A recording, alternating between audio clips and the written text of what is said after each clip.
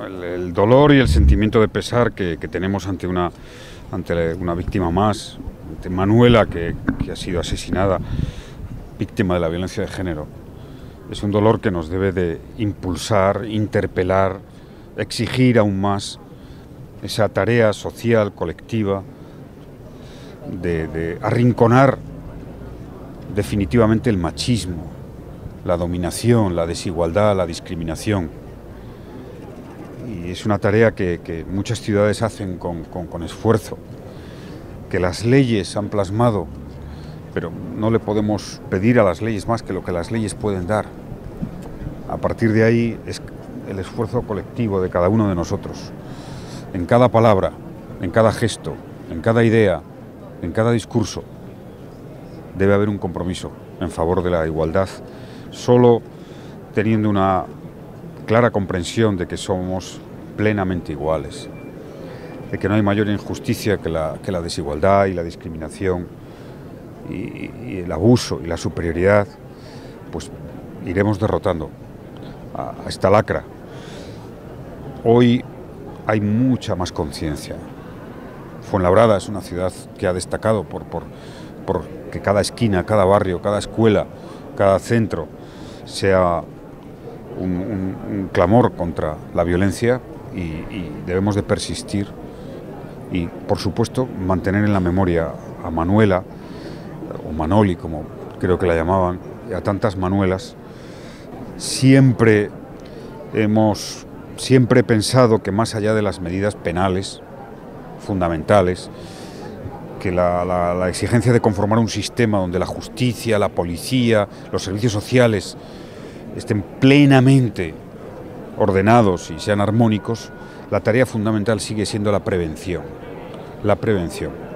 Y la prevención es cultura, es formación, es educación de los sentimientos, desde la edad temprana, desde los 0 a 3 años, durante toda nuestra vida, hasta el último taller al que asistamos en un centro social, en una biblioteca debe de recuperarse, mantenerse, insistirse en que la contraseña de la vida es la igualdad, es considerar a los demás como seres iguales y que el, feminismo es una, es una expresión de, de una evolución superior, de una evolución superior de la educación de los sentimientos, que el feminismo dice paz, cooperación, tolerancia. Bueno, es una tarea de años que llevamos frente a siglos que sufrimos. Bueno, cada voz, cada rincón, cada asociación está haciendo mucho por esta tarea. Hemos empezado a ganar la batalla, aunque seamos hoy, sea hoy un día de dolor, pero hemos empezado a ganar esta batalla cuando el debate sobre la violencia hacia las mujeres, la violencia de género, se hizo público. Salió del silencio, de, lo que era la violencia doméstica, de la violencia en la pareja.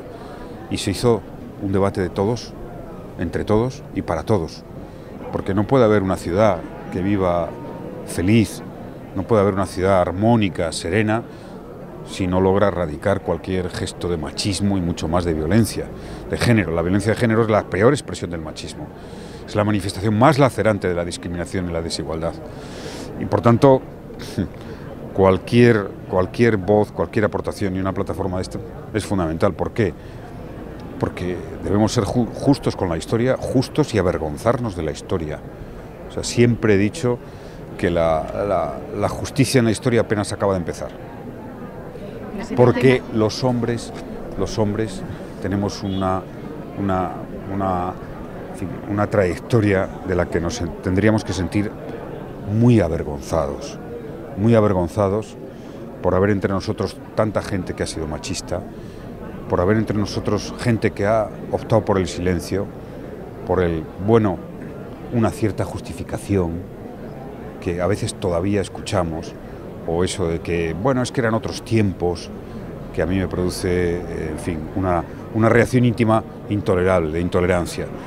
Claro, los hombres somos los que más tenemos que hacer por terminar con esta lacra Aún recuerdo mi generación, que es la generación de la democracia, la, facilidad con que los chistes machistas se exhibían en cada tertulia entre hombres, sin, ningún tipo de penalización, de reproche. Tenemos que ser los primeros, los primeros por nosotros mismos, porque yo no entiendo que haya un solo hombre que pueda ser feliz teniendo el más mínimo atisbo de machismo, de superioridad, de discriminación. Lo que enamora es la igualdad, lo más apasionante es la igualdad. Siempre he considerado que el diálogo es la única vía que hay para afrontar un conflicto que, que ha sido muy, muy grave que ha durado durante 10 años y que por fin, por fin, con, con, esperanza y con una gran convicción y fe en la democracia española, afrontamos a través del diálogo. Ojalá esto se hubiera producido hace años y por tanto sabemos muy bien, sabemos muy bien que la única manera de, fomentar la convivencia, el reencuentro, el respeto a las leyes, la democracia, es la persuasión es el debate de ideas, son los argumentos, es el entendimiento, es el respeto, es el reconocimiento. Y me sorprende que haya voces que, de partidos que han sido partidos de gobierno que, no, que no entiendan esto.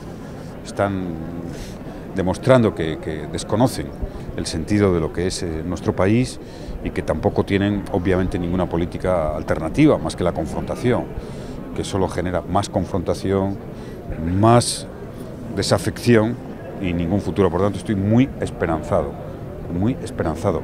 Y, creo que todo, todo persona que ame a España, a esta España diversa, moderna, ambiciosa, debe de apoyar ese diálogo de buena fe, pensando que los, que los responsables que tienen ahora esta enorme responsabilidad necesitan ayuda, como casi todos los demócratas hemos dado ayuda en todo momento a, a, los gobiernos cuando tenían trances decisivos como este es un trance decisivo.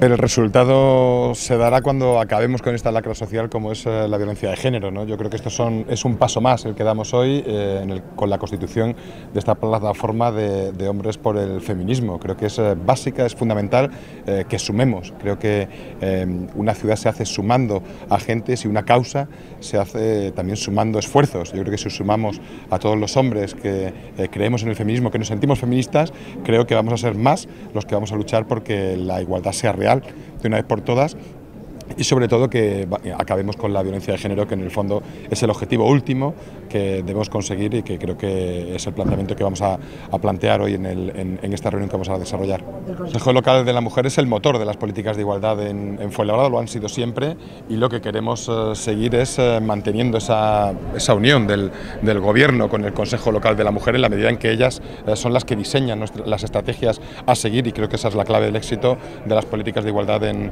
en Fuenlabrada y que tendremos que seguir eh, ahondando y, en esa dirección seguiremos trabajando. Bueno, yo creo que el lugar de los hombres es sumar. Decía anteriormente que creo que es fundamental y básico que seamos cuantos más mejor luchando por el feminismo, ¿no? En esa dirección es en la que vamos a trabajar y con esta plataforma lo vamos a evidenciar, ¿no? Yo creo que eh, tener hoy aquí al presidente Zapatero para de alguna forma eh, avalarnos y, decirnos cuál es la trayectoria, ¿no? También queremos escuchar sus, su exposición, ¿no? Sobre cómo ve la figura de, del hombre en el feminismo y cómo ve la figura del hombre, que tenemos mucho que hacer, mucho por avanzar y mucho por desarrollar en esta dirección, es lo que vamos a visibilizar con esta plataforma. No sucede nada porque alguna vez en la historia, en un momento en la historia, vayamos detrás. Vayamos detrás del liderazgo de las mujeres y empujemos con humildad, porque nos van a dar muchas lecciones, nos están dando muchas lecciones. Y lo único que yo pido a, a los hombres que se han comprometido con esto es que en efecto sepamos tomar esas lecciones y aprendamos, porque seguramente la historia se escribirá de otra manera. Si a las mujeres les hubieran dejado escribir la historia, que no les han dejado, no tenga ninguna duda que la historia se hubiera contado de otra forma. Gracias. gracias. gracias.